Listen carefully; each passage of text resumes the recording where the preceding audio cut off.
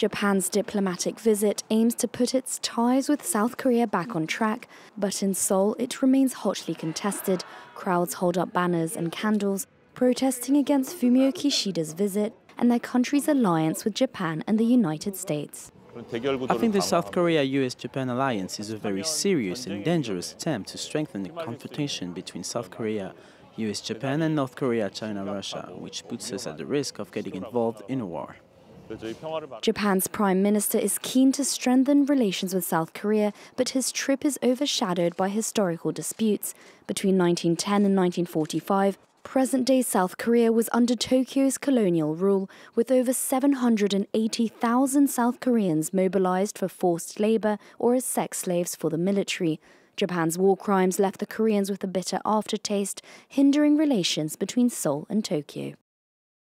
In 2015, Japan made an official apology agreeing to pay over $7 million to a fund to help the war victims, but the deal was later cancelled by South Korea. Protesters are demanding that Japan's war atrocities be at the top of the summit agenda. But both President Yoon and Prime Minister Kishida remain keen to bury the hatchet between Seoul and Tokyo. Since March, dialogue has started at various levels, including finance and defense. To further develop this relationship, I am expecting President Yoon to attend the G7 Hiroshima summit.